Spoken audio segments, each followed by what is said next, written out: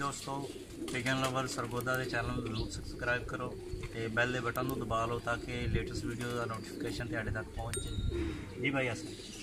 ਭਾਈ ਆਰਫ, ਇਹ ਕਬੂਤਰ ਸਾਡਾ ਬਰੀਡਰ ਕਬੂਤਰ ਹੈ। ਨਾਲ ਸਾਡੇ ਕੋਲ ਮਾਦੀ ਹੈ, ਫਿਰੋਜ਼ਪੁਰੀ ਜੋੜਾ ਸਾਡਾ। ਇਹ ਕਬੂਤਰ ਦੀ ਹਿਸਟਰੀ ਇਹ ਹੈ ਕਿ ਇਹ ਕਬੂਤਰ ਸਾਡੇ ਵਾਲਦ ਸਾਹਿਬ ਨੂੰ ਗਿਫਟ ਹੋਇਆ ਸੀ। ਅੱਜ ਤੋਂ ਕੋਈ 5-6 ਸਾਲ ਪਹਿਲੇ।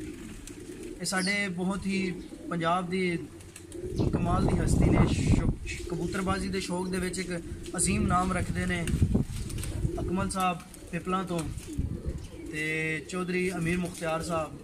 ਇਹ ਚੌਧਰੀ ਅਮੀਰ ਮੁਖਤਿਆਰ ਸਾਹਿਬ ਨੇ ਸਾਡੇ ਵਾਲਾ ਸਾਹਿਬ ਨੂੰ ਗਿਫਟ ਦਿੱਤਾ ਸੀ ਤੇ ਉਸ ਤੋਂ ਬਾਅਦ ਅਸੀਂ ਇਸ ਨੂੰ ਜਿਹੜਾ ਨਾ ਆਪਣੇ ਬਰੀਡ 'ਚ ਇਸਤੇਮਾਲ ਕਰ ਰਹੇ ਹਾਂ। ਇਹਦੀਆਂ ਤਿੰਨ ਪੱਠੀਆਂ ਅਸੀਂ ਜਿਹੜਾ ਨਾ ਆਪਣੇ ਟੋਪੀ ਵਾਲਿਆਂ 'ਚ ਪੈਂਤੀਆਂ ਵਾਲਿਆਂ 'ਚ ਤੇ ਇਹਨਾਂ 'ਚ ਘਮਗਰਾਂ 'ਚ ਅਸੀਂ ਪਾ ਕੇ ਜਿਹੜਾ ਨਾ ਅੱਗੋਂ ਇਹਨਾਂ ਦੀ ਵੀ ਬਰੀਡ 'ਚੋਂ ਅੱਗੇ ਅਸੀਂ ਬਰੀਡ ਲੈ ਰਹੇ ਹਾਂ। ਤੇ ਇਹਨਾਂ ਦਾ ਰਿਜ਼ਲਟ ਰਿਹਾ? ਰਿਜ਼ਲਟ ਇਹਨਾਂ ਦਾ ਬਹੁਤ ਨਾਯਾਬ ਰਿਜ਼ਲਟ ਆਇਆ।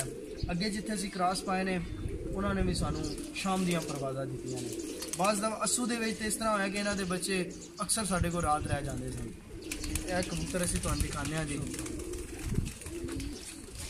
ਇਹ ਚੌਧਰੀ ਅਮੀਰ ਮੁਖਤਿਆਰ ਸਾਹਿਬ ਆਫ ਪਿਪਲਾ ਜਿਹੜੇ ਸਾਡੇ ਵਾਲਦ ਸਾਹਿਬ ਦੇ ਬਹੁਤ ਹੀ ਅਜ਼ੀਜ਼ ਦੋਸਤ ਨੇ ਉਹਨਾਂ ਨੇ ਉਹਨਾਂ ਨੂੰ ਗਿਫਟ ਕੀਤਾ ਸੀ।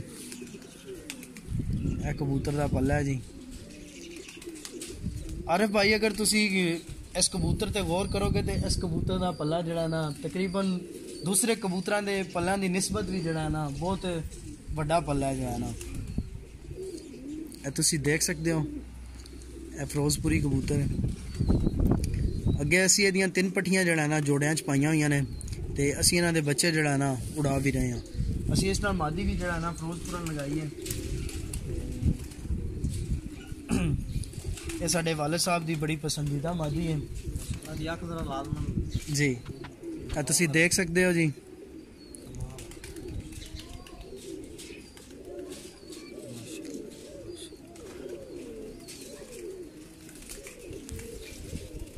ਜੀ ਦੋਸਤੋ ਐਵੇਂ ਉਹ ਫਿਰੋਜ਼ਪੁਰੀ ਜੋੜਾ ਜਿਹੜਾ ਅਸਲ ਮਸੀ ਇਟਲੀ ਵਾਲੇ ਉਹਨਾਂ ਨੂੰ ਗਿਫਟ ਮਿਲਿਆ ਤੇ ਉਹਨਾਂ ਨੂੰ ਬਹੁਤ ਅਜ਼ੀਜ਼ ਜੋੜਾ ਹੈ। ਉਹਨਾਂ ਦਾ ਪਸੰਦੀਦਾ ਜੋੜਾ ਹੈ। ਜੀ।